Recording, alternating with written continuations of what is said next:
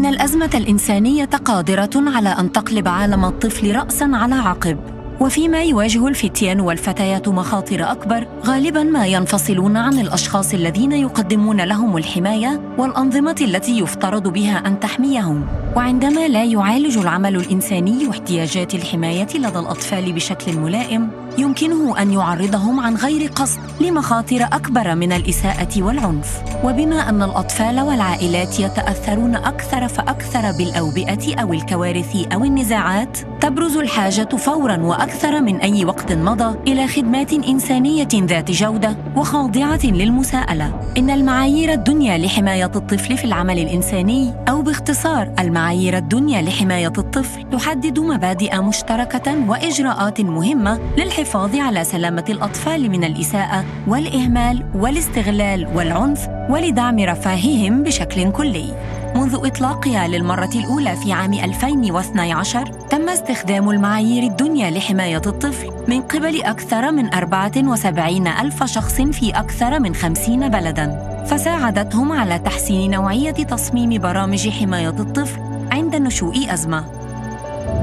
خلال السنتين الماضيتين جرى العمل على مراجعة وتحسين المعايير الدنيا لحماية الطفل استنادا إلى أحدث البراهين والأبحاث والتجارب الميدانية للعاملين في مجال حماية الطفل ومقدمي الرعاية المعنيين والأطفال أنفسهم. يشكل إصدار عام 2019 موردا شاملا حول النهج الأكثر فعالية لحماية الأطفال في الأوضاع الإنسانية. ويمكن تطبيق هذه المعايير الدنيا في مجموعة واسعة من السياقات من أوضاع أزمات اللاجئين والهجرة المختلطة إلى تفشي الأمراض المعدية مثل فيروس كورونا كوفيد-19 ويركز الإصدار الجديد على أهمية المعايير الدنيا لحماية الطفل. من خلال التشديد أكثر على الشراكات مع الجهات الفاعلة المحلية والمساءلة أمام الأطفال والوقاية من الأذى في مجال حماية الطفل وإدماج الأطفال كلهم لا سيما الفتيات والأطفال ذوو الإعاقة.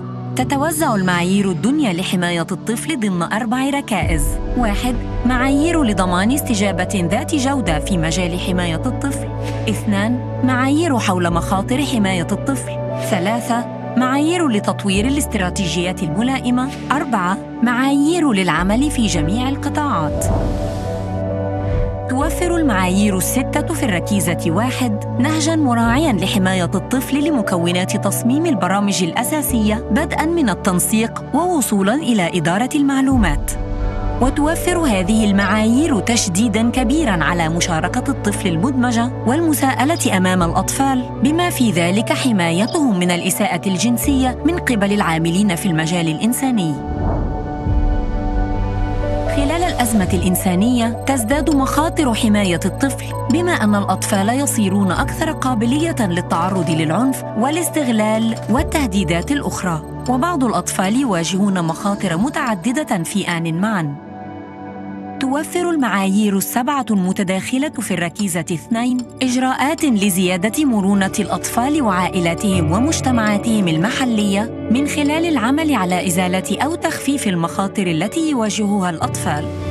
إن المعايير السبعة التي تتألف منها الركيزة ثلاثة مبنية على النهج الاجتماعي الإيكولوجي الذي يبرهن كيف أن الإجراءات على مستوى الطفل والعائلة والمجتمع المحلي والمجتمع ككل يمكن أن تقوي بشكل منهجي حماية الأطفال ورفاههم. على سبيل المثال يستعرض المعيار 15 مجموعة من النهج الجماعية لتلبية احتياجات الأطفال النفسية الاجتماعية في حين أن المعيار 16 يوفر إرشادات لدعم الأهل ومقدمي الرعاية والمساعدة في إبقاء أفراد العائلة مجتمعين. ما من قطاع يملك بمفرده المعارف والمهارات والموارد كي يستجيب بشكل كامل لاحتياجات حماية الأطفال. على هذا الأساس وانطلاقا من اعترافها بقيمة النهج المتكامل تقدم المعايير الثمانية في الركيزة أربعة الإجراءات الدنيا لتصميم البرامج المشترك بين القطاعات في الأوضاع الإنسانية. فالمعيار 23 يقدم إجراءات أساسية لتقوية التعليم الحمائي والدامج إلى جانب الخدمات المراعية للنوع الاجتماعي ونوع الإعاقة.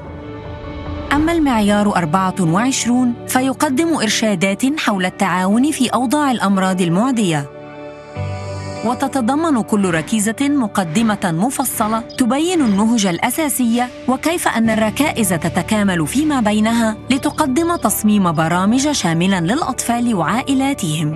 أما كل معيار فيحوي إجراءات أساسية وملاحظات توجيهية ومؤشرات واقعية وقابلة للقياس ومراجع أساسية للمزيد من الإرشادات وقائمة من المعايير المتصلة لتعزيز تصميم البرامج الشامل. وتأتي الرموز لتبرز مسائل متداخلة مثل أوضاع الأمراض المعدية واللاجئين وسياقات النزوح والهجرة والصون والوقاية. من